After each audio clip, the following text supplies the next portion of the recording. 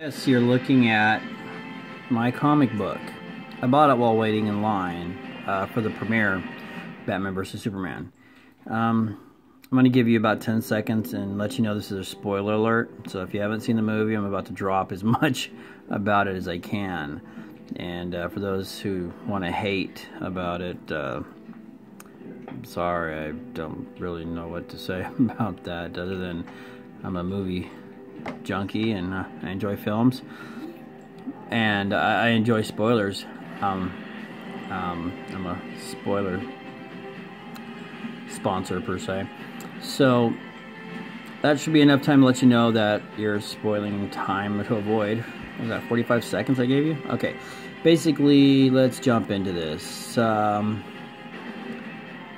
uh, Justice League, the members get shown. Everybody gets shown except Green Lantern.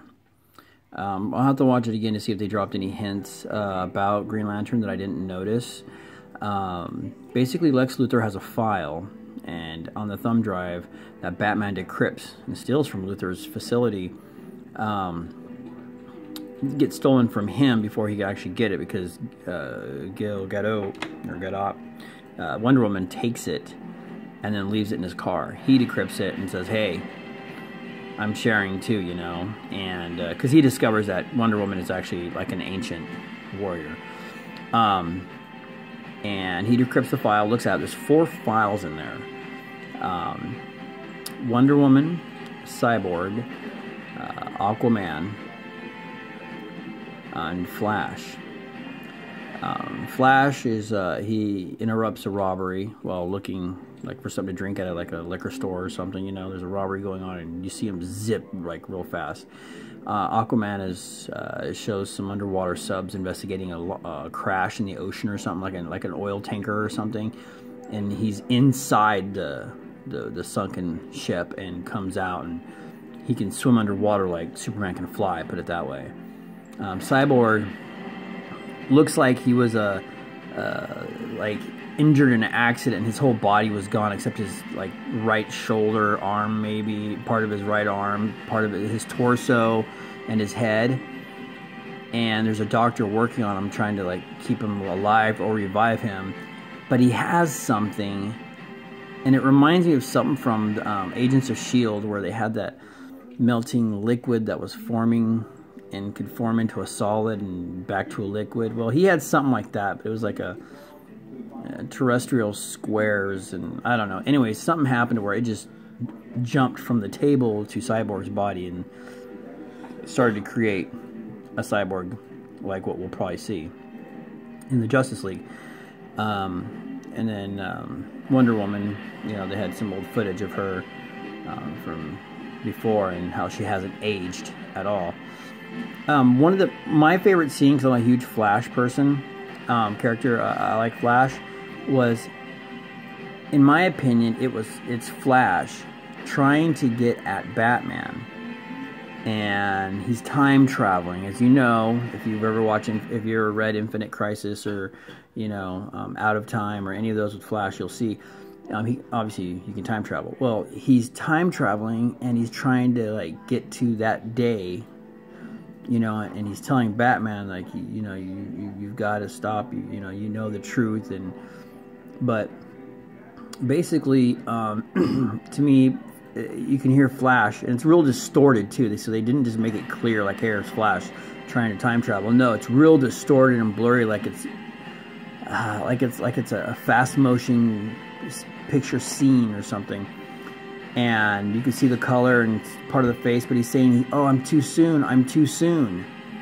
Right there, it's like he's time traveling. He probably hit the wrong time. You know what I mean? He was supposed to come later or something. So I don't know. That was interesting. I like that because it's like Flash got two scenes in the movie.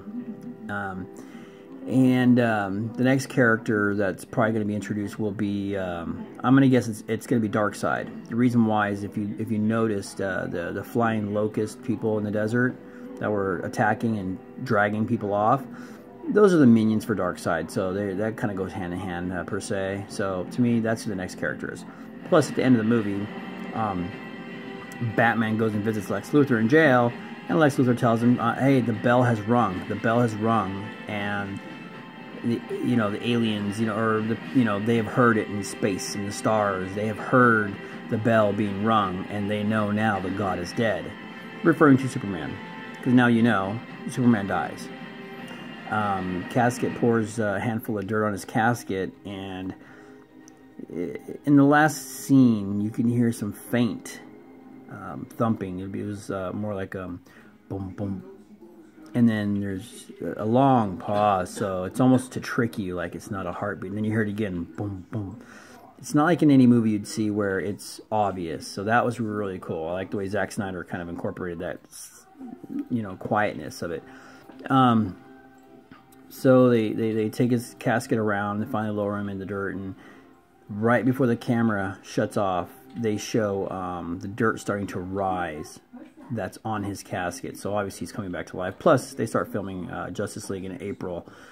Um, I mean, there's other things that happen, but to be to the gist of it, that's all there is to it. Um, you know, and if you want to know who was dominant dominant in the movie, uh, Batman was more dominant. He's clearly more dominant in the fight with Superman. But then again, they say when they release the Blu-ray, they'll release the uh, rated R uh, fight scene. So uh, I thought it was pretty good. So but yes, uh, Superman dies fighting um, Doomsday, and um, Wonder Woman. Her character was it was perfect in the movie. I like the way they portrayed her character, real real strong and dominant in the movie. So uh, I'm guessing that was intentional for for the sequel that will be coming up for Wonder Woman, Wonder Woman solo um, movie.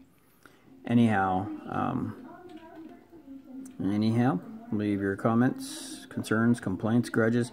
Again, this is a spoiler. Nothing fancy. It's not one of those high edited, super animated videos.